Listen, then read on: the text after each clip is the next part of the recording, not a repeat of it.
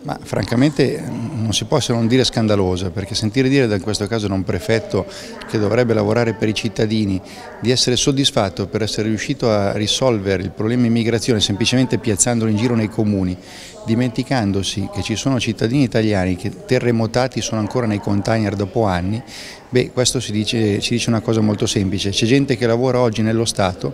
che confonde gli scafisti con i cittadini, il proprio datore di lavoro con i criminali. Questo è quello che ci fa molto arrabbiare. Noi prefetto Morconi diciamo una cosa molto semplice, non ci dimentichiamo di questi atteggiamenti e soprattutto quando arriverà il momento faremo piazza pulita anche di questi parassiti dello Stato.